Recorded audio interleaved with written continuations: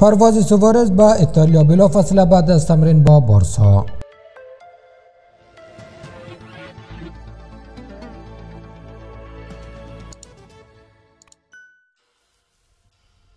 با اینکه سفر لوی سوارز به ایتالیا شایعات زیادی درباره پیوستن او با یوونتوس مطرح کرده ولی درگیری سوارز با بارسا ادامه دارد. و او خواهان دریافت 14 میلیون یورو از باشگاه کاتالان هست. لوئیس سوارز بعد از آن که روز گذشته 17 سپتامبر در تمرینات بارسلونا شرکت کرد بلافاصله بعد از تمرین سوار هواپیما شد و راهی ایتالیا شد. سوارز که قصد دارد شهروندی ایتالیا را دریافت کند در یک آزمون زبان ایتالیوی به این کشور سفر کرده است. این سفر سوارز به یوونتوس شاید درباره پیوستن او به یوونتوس را افزایش می‌دهد. چرا که بیانکونری مشخصا علاقه زیادی به جذب او دارد.